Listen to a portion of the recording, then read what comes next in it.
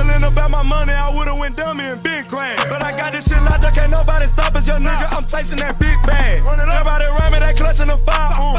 My younger day once on ride for him. He mugging we up and I. Bet. Welcome back to the channel. It's your boy OTC Bro. My boy Quest right here for the time being. This is another Final Thoughts video. Now, this is uh, about the player's manual, Rocci, and that boy Ramirez G59. Member album was excellent. Production was insane. How Ramirez and Rocci traded off, you know, filling off each other's energy also played well into the production and to the layout of the rest of the album. Now, taking a step outside of his usual, very, very dark and, and evilish, you know, that G59 gray guy, that gray gorilla type feel, that, that type vibe, that type subject matter also, and switching over to a more, I wouldn't say a less of a in your face type of delivery, but a more subtle type of delivery, a more smoother type of delivery. Also mixed in with some with some songs like Tales from the Gutter, Red Dot, even the Foe Five, being a little more darker than the rest of the project, especially when it comes to subject matter, and especially when it comes to production. It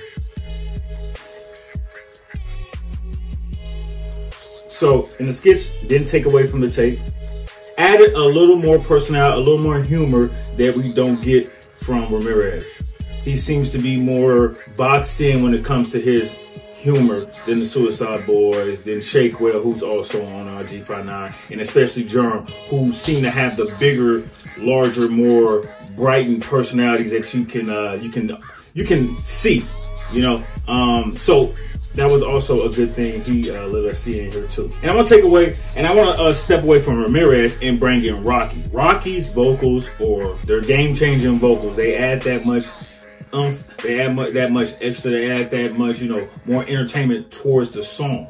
And when him coming in and switching off from doing the production with the vocals and Ramirez coming in doing the raps and even Ramirez adding some vocal talent as some of y'all uh, shared with me in the live stream. Him, also sharing some vocal talent also in there was a very good thing. But Rocci, this is also his project. I think when we we look at the projects, oh, it's Ramirez, it's Ramirez, Ramirez, G59, G59. But you can't forget the production and his vocals were very vital in this project. Without that, you know, we get something else. We get something else. We don't know if it's good, we don't know if it's bad. But with his vocals being a vital part of the project, you cannot ignore it. This wasn't a collab field project. You know, you had a fellow G59 member, uh, Shakewell, and Buffet Boy member, Pouya. And then you had um, Night Lovell at the end uh, for Red Dot, which was one of the songs that when I first heard it on live stream, I was like, damn, that's good. It's good, good song, good song. It's more like his talent. It's more like his his his feel we usually get from Ramirez. But when I listened to it after, I was like, wow, this might be one of the uh, better produced songs on the album. It might be, you know. At that point, I was thinking, oh, this this might be one of the best produced ones. Now we know the Foe Five and Tales from the Gutter. Those were his singles. Those were the ones he gave out before the um, before this project dropped. I pretty much liked every song. If I didn't like the song in its entirety, I liked something from the song. It was only one song that I felt like uh, I, I can do without, and that was Brown Eyes. I just wasn't feeling that one. Not for me. Production was on point, but just wasn't the type of feel. And another song that on stream, I kind of was like, damn, this is Ramirez, isn't it? I've never heard him sound like that. It kind of threw me off. And the more I listen, the more I listen, the more I listen, the more I start liking the song. And that's Out the Way. Out, Out the Way is very, very unique song, I think, in Ramirez's catalog. Because with the, the vocals and with the rapping and with the cadence and with the delivery and with the, and the switch flow, he gave you something, a different type of voice, a different type of tone I've never heard him give me. And I think it, I think it was dope. Lavender Lust was also a song that I was iffy about, but I was like, that's like an interlude. I didn't download that one, wasn't didn't much care for it.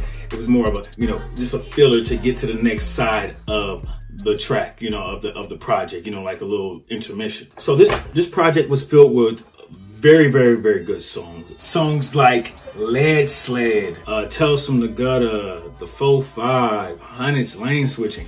After listening to the, the project at least four times. I've listened to it four times since I've uh, live streamed it. Hundreds is definitely my favorite song on the uh, project, hands down. My favorite produced song might be it might be Red Dot, but with a slight edge, a slight edge. I'm gonna give it to the 4-5. It's my most favorite produced track on the project. Another thing with the production, it's it got that player, it got that that pimpish, it got that cool chill vibe, but this did not sound like a underground project. This did not sound like an underground project. Some of these tracks like Gold Things and, and Pinky Rings, Out the Way, Glitter and Gold, those those type songs on here, that production was very polished, very not whatever is the level above underground. I'm not saying underground ain't the shit because underground, I fucks with underground niggas. Whatever